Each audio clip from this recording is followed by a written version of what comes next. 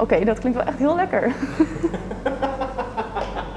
Waarschijnlijk wel. Nou, hup, hebben we weer een beginstukje.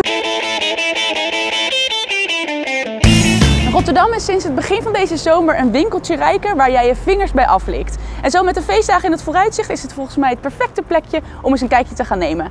Wij zijn vandaag bij Choco en Gelato. Hi, zo, het ziet er hier super lekker uit. Waar zijn we terechtgekomen? Nou, je bent terechtgekomen bij Choco en Gelato. En wij zijn een ijsronde chocolaterie. En wij zitten in een heel klein zijstraatje van, uh, uh, tussen de Manuniersweg en de Pannenkoekstraat. Dat heet Vogelenzoon. En jullie komen van oorsprong uit Berkel. Wat heeft jullie in Rotterdam gebracht? Ja, klopt. Uh, onze eerste winkel zijn we in Berkel begonnen.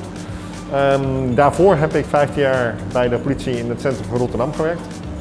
En ja, dan ben je toch wel een beetje verknocht aan, aan de stad. En daarbij ben ik in Rotterdam geboren. Dus um, ja, dan was de keuze eigenlijk wel snel gemaakt. Ja. En waar komt jouw liefde voor ijs en chocola zo vandaan? Wij zijn in 2014 in Italië op vakantie geweest bij vrienden van ons.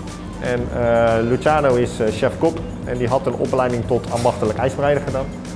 En die had daar foto's van, filmpjes en dat, ja, ik vond dat zo leuk dat ik dacht, goh, dit wil ik in Nederland ook eens gaan proberen. Dus ik ben uh, dat gaan doen en daar is eigenlijk ja, de basis voor de liefde van het ijs ontstaan. En jullie specialiteit is volgens mij ijs maken. Kun je daar iets over vertellen? Ja, um, inderdaad. Onze specialiteit is ons ijs. Um, ons ijs maken we in de ijskeuken in Berkel, in onze andere winkel. Daar hebben we ruim 100 smaken ijs, dus dat zijn er best veel. En wat is jouw eigen favoriet? Mijn eigen favoriet, Panna Ribes Rosso. En dat is panna cotta roomijs met aalmesjes en muesli. Oh, lekker. En deze heerlijke chocolaatjes, maken jullie die ook zelf? Nee, gelukkig niet. Um, daar is ons assortiment uh, net iets te groot voor. Um, chocolade maken is wel echt een vak apart. En uh, Visje Chocolade in uh, Limburg die maken voor ons de chocolaatjes. En tegen de feestdagen komen er dan nog specialiteiten? Ja, zeker wel. Wij passen het assortiment eigenlijk aan aan het seizoen. Um, Sinterklaas is in het land, dus we hebben chocoladeletters. we hebben spekjes in chocolade, marsepein, etc. En uh, met kerst hebben we een heel assortiment aan kerstbonbons. Ja. Dus uh, het ziet er niet alleen leuk uit, maar het is vooral ook erg lekker. Wat willen jullie weggeven aan de kijker? Um, cadeautjes geven is altijd leuk. Dus wij dachten we maken een, een, een mooi chocolade verwendpakket.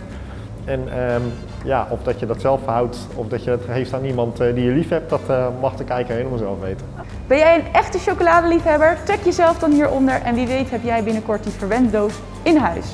En nu ben ik wel benieuwd, wie gaan jullie nomineren voor de volgende aflevering? Voor de volgende aflevering willen wij Cézanne nomineren. En zij zijn gespecialiseerd in hotdogs. We staan eigenlijk altijd op festivals, maar dat is een beetje in het water gevallen natuurlijk. We staan nu eigenlijk door heel Rotterdam heen.